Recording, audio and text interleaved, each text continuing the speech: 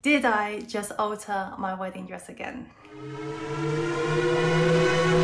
Yeah. Let me explain, let me explain. This is my wedding dress. Hopefully this is the final version. Yes, I have altered it twice now but the first time when okay let me explain let me take you all the way back if you haven't seen my video of when I bought my wedding dress on AliExpress you should probably watch that you can see all the fit because then you can see how this actually fitted me out of the box from AliExpress and hopefully you can understand why I did end up altering my own wedding dress because I had to. It was not horrendously fitting, but the top was just very, very big. And then I didn't have a sewing machine. I used a £2.99 sewing kit from Amazon and hand sewed as much as I can. Now, I decided recently to buy a sewing machine because it sparked up my interest again. So, so, so, so, I decided to alter my wedding dress as my project, my first project for that sewing machine. I am not a pro, I'm not even an intermediate, I'm a beginner when it comes to sewing machines. So, was this project too big for me? Yes. Did I do a good job? I think I did a fairly decent job, just don't look too close because otherwise you can see the wonky seams. But other than that, I'm gonna go through the steps that I've done to alter my dress using a sewing machine and I'm fairly happy with the results. I am actually quite happy. In fact, I'm gonna try and see if I can get a photo shoot, like a, a self photo shoot somewhere, maybe here. But yes, let's start. So as you can see, the top of the dress is very, very big. The straps literally just falls off unless I have my shoulders up, you know, elongating my torso, then it kind of stays. But other than that, it will absolutely just fall. So the first thing I did was actually ripped out the seams for all the alteration that I've done in the previous hand sewn alteration and if you haven't seen that video I did actually put a video up for that as well if you are interested by all means you can check out the link here once I've ripped out all the seams from my previous video, I then ripped out the side seams of the actual dress and the seams that connects the bodice to the actual skirt. That way I'm left with the front and the back panel of the dress. Once I've done that, I actually decided to remove all the florals, all the appliques that were sewn onto the dress just because I didn't want to be bulky. I wanted, I wanted to do it right. My intentions were good. I used a seam ripper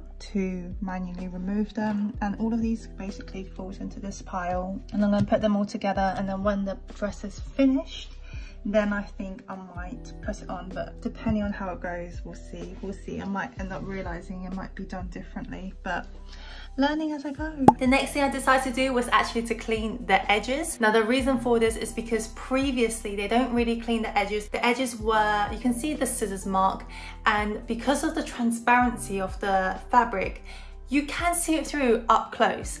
And remember, I'm trying to do things the right way, whatever way that is. So I decided to clean up the edges. And I did that by double folding because that way you really can't see the edges of any materials.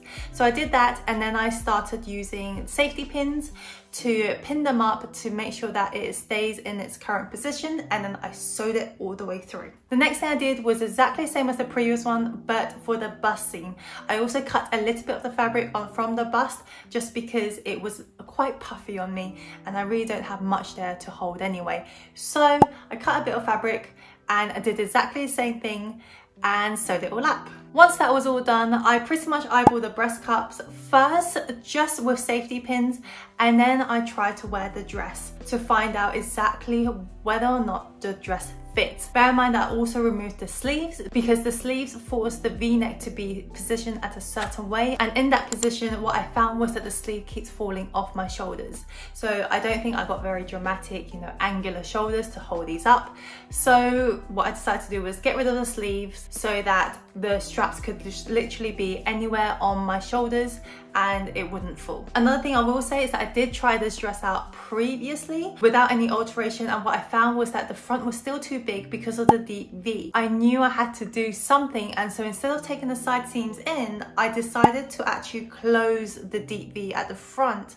So instead of a deep V, it is more of a mid V because that also helps with the straps. My straps at the moment, it keeps falling off. But by moving that deep V to a mid V, it did solve the problem. So that was a win for me. Less sexy at the front, but it's much more comfortable. Once that's all done, I put the dress on and at this stage, essentially what I'm doing is just making sure that everything fits. I want to make sure that the straps wasn't falling off my shoulders. I want to make sure that the deep V at the back isn't just flopping out because last time it was also the back was just too long on me. I want to make sure that the front was sitting flat on me. I didn't want to have any air bubbles of materials that really didn't need to be there. Once that all checked out, which second time try, as you can see here, it fits relatively well. It just looks ugly because there's no floor at the top. That's all it is. So once that was all good, I decided to use a pin to pin everything up very roughly around the body. And once I was happy with the placement of the appliques on the bodice,